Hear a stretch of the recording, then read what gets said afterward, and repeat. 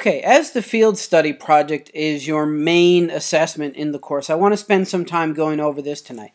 So, basically what you want to do with this project is that it's designed to actually have you go out into the field, take data from an existing school or school district, and then analyze that data and develop an actual action plan for going forward to improve the school based upon the trends that you see in the data. So there are a couple of parts to this that you're going to want to do. Um, the first thing is is that the you need to come up with a group. Now, in our class, with the numbers that we've got, we are going to have groups of three. There will be a couple of groups of two. Um, so if I do the math correctly, there will be, I think, six groups of, sorry, eight groups of three, and then two groups of two.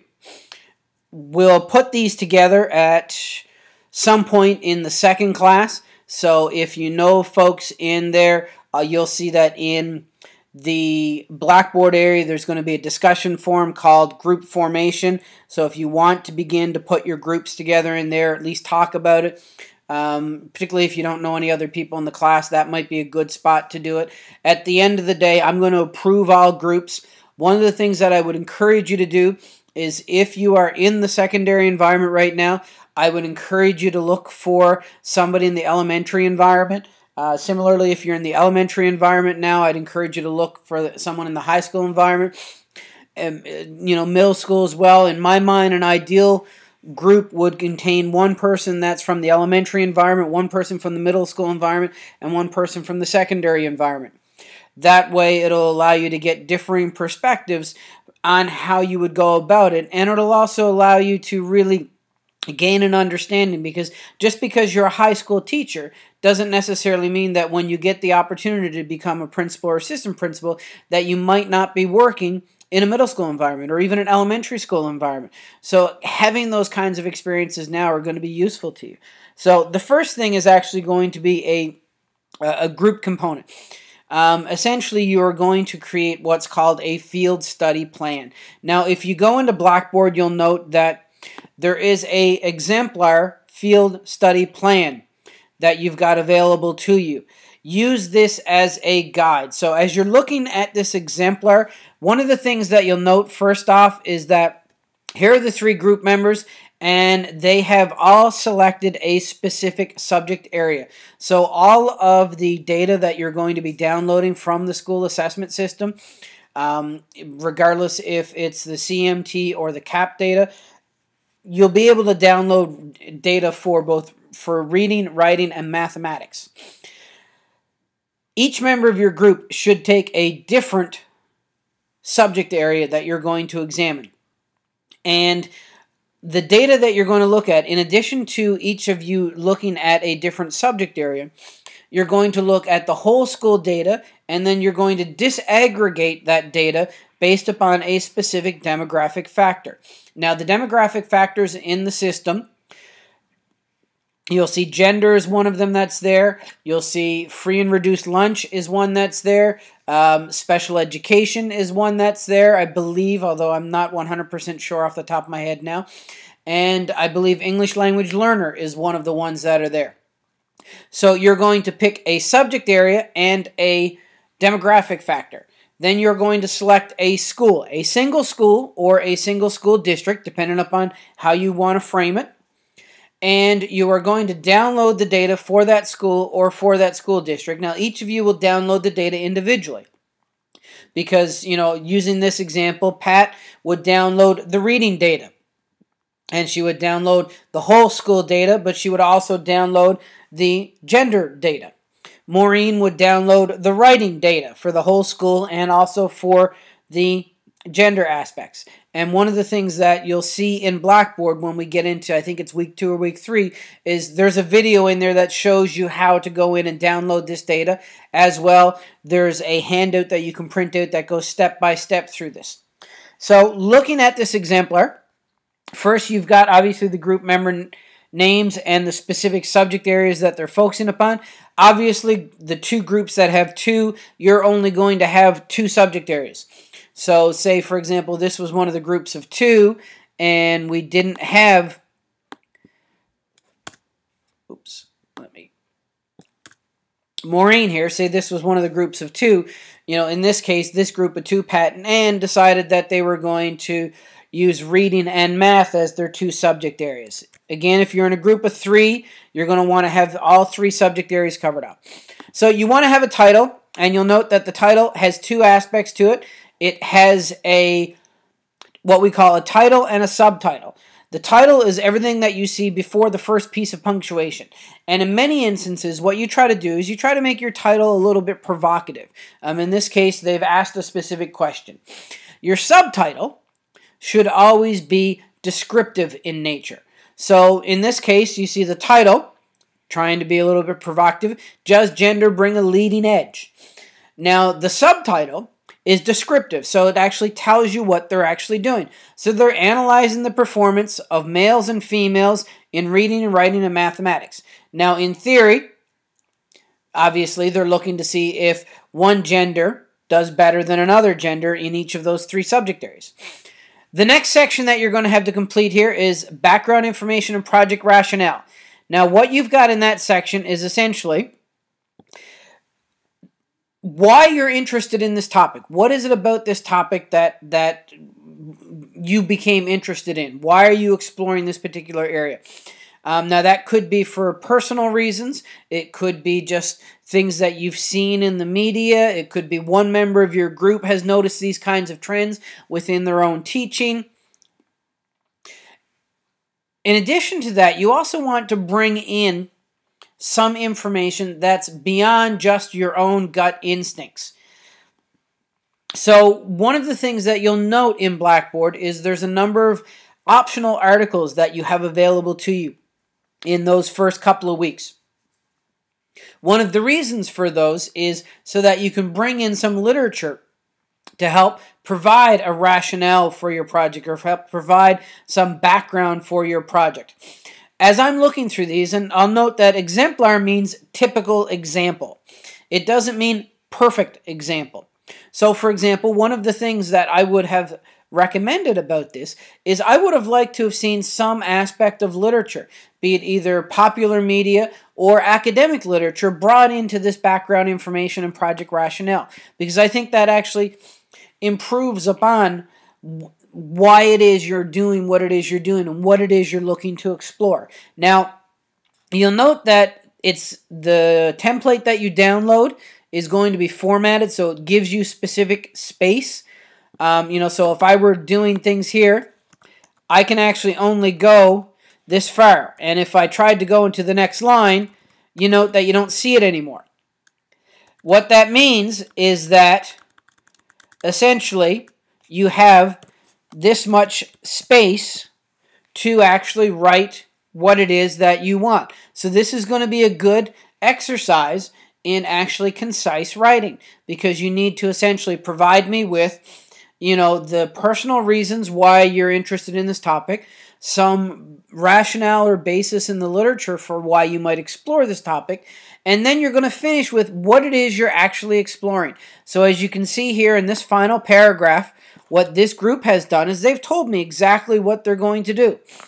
They're going to analyze the data to see if there is evidence of essentially a gender gap in these three subject areas.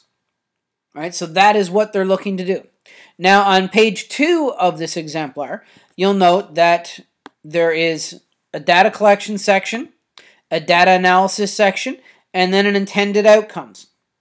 Right? so the intended learner outcomes, these are things that you plan to be able to do by the end of this experience. These are essentially your goals for this particular activity. Now, we've provided you with some examples here. Um, feel free to modify some of these. I'd strongly encourage you to add some of your own. You'll note that this particular one here is um, uh, this assignment or this project that's focusing upon an elementary school. So as you can see here, what they're specifically looking at uh, is CMT data as opposed to um, other types of data that you'd have, say, in the high school or middle school environment. The specific performance level they're looking at is at or above grade level. You'll note another one of them there is percent proficient. Um, in the case of the elementary school, you are going to have five years worth of data. If you're in the high school, you're going to need six years worth of data just because of the when we test things. So in the case of elementary school, it's going to be grades three, four, and five. If you're working in the high school environment, um, you're going to be looking at grades six or sorry eight sorry, 7, 8, and 10, I think, are the grades that you have there. I'm trying to remember the grades that are tested um, off the top of my head. And because there's a gap there, there's a one year gap that is not tested. Because of that reason, that's why you need six years worth of data as opposed to seven years of data. And you can see here the specific subjects and who's working on each of those subjects, and then the specific demographic factor that they're focusing upon. Um, so as you can see here, this is how they're going to analyze their data. So they are going to look at essentially a year by year analysis for those five years for each of the three grades, both for the entire grades, which is what this is up here. So this would be all the students to see if there's a trend for all students. And then they're going to look at essentially the male and female trend for each of those grades, each of those years. The cohort trend analysis is essentially you're going to follow one cohort through the system. So, for example, students who were in grade 3 in 2009 would be in grade 4 in 2010, and they'd be in grade 5 in 2011. So when you're looking at your cohorts, you're going to want to see what their grade, you know, for this particular group, you're going to see how they scored in grade 3 in 2009 but then you're also going to see how they scored in grade 4 in 2010 and how they scored in grade 5 in 2011. Similarly, with the 2010 cohort, what you're going to be looking at is how they scored in grade 3 in 2010, how they scored in grade 4 in 2011, how they scored in grade 5 in 2012. So you're going to follow them. The idea behind that is, you know, when you look at your year to year analysis, you might notice that well, you know, in 2009, the grade threes didn't really do that well. In 2004, they did really, really well, but then in 2000 and uh, sorry, in 2010 they did really, really well, but then 2011 they were back down to the 2009 level. 2012 they were back down at the 2009 level. What you can this cohort analysis allows you to do is it allows you to follow that cohort. So did that particular cohort score well all of the time? Because if that's the case, then maybe you just got a good group of grade 3 students that came through in 2010 and it inflated your year by year analysis. So maybe your overall trend is flat, but just because you've got this one blip because you had a good group of students come through. So that's what the cohort analysis will allow you to do. We'll talk a little bit more about this in class um, uh, during our second session, just to make sure everyone understands and to get our groups in place. Now, once you do your plan, you're going to do a couple of things. Uh, the plan is going to be created as a group. So all three of you, or two of you in the case of two groups, will submit the same plan. Each of you will submit it individually in Blackboard. So essentially, Anne, Pat, and Maureen would have all uploaded the same file individually into Blackboard. Uh, the reason for that is because Blackboard, the way it's set up, it doesn't allow you to provide a good level of feedback on a blank entry. If you haven't uploaded something, if you haven't submitted something, then it makes it difficult for me to actually provide the, the level of feedback that I would like. So then you're going to download your individual data and you're going to essentially start to work through and figure out your particular data um, looking for trends in your data. So all of this number three, that stuff you're all doing by yourself. That's all of the downloading and analyzing your trend, uh, the trends in your data. You're going to create some graphs that show some of these trends in Excel, and we've got videos in in Blackboard that'll show you how to do it. We've got handouts in Blackboard that shows you how to do it. and I'll also go over it in that optional class for those of you that you know want that extra that extra help. So you're going to do all of that on your own. Once you're finished all of that, you're going to do one of two things again on your own. You are either going to create a PowerPoint file or a Word file that contains a narrative summary. I would strongly encourage you to do the PowerPoint file only because during the last class you're going to have to present something. And it makes it a lot easier to present a PowerPoint slideshow than it does to present a narrative summary. Having said that, if you wish to do the narrative summary, I won't discourage you from doing it, um, but just for the logistics of it, you'll probably find life will be a little bit easier if you select the first option there. I've got an outline here as to what your PowerPoint or your narrative summary should contain.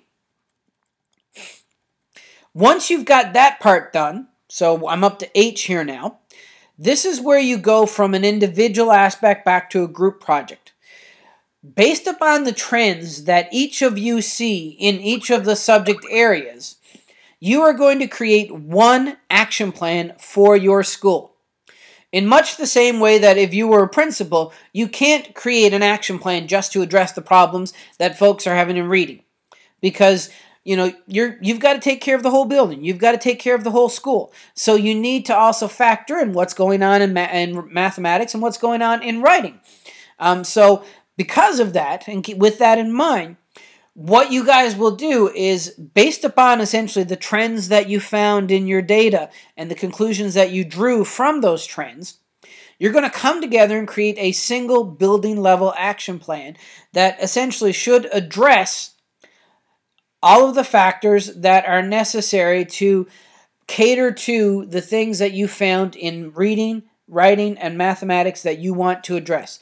Now, you're going to do this in four areas and you can see the, the, the areas that are listed there. And there's going to be a template that you can download that you can follow and there's also an exemplar that actually is a little bit later in this particular one. And again, when you submit this, you're going to submit it individually in Blackboard.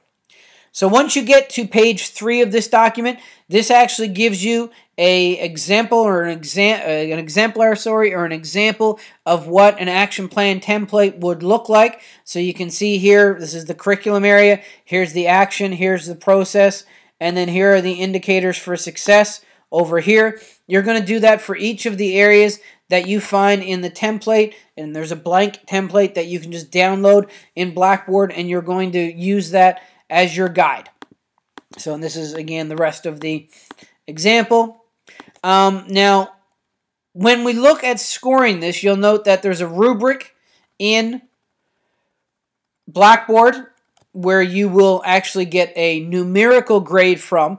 In addition to that, for each of the ELCCs that this particular course touches upon, we will be evaluating you on each of those four, or I will be evaluating you, sorry, on each of those four ELCCs based on how you did for the field study project.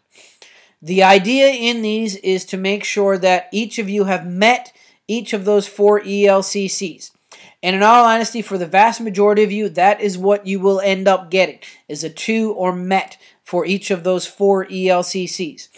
And if you look on what is the last two pages, you can see each of the four ELCCs and what met and not met and um, the top category, which is target, what each of those things are. You want to aspire for MET. Now, this particular part of it isn't tied to your grade.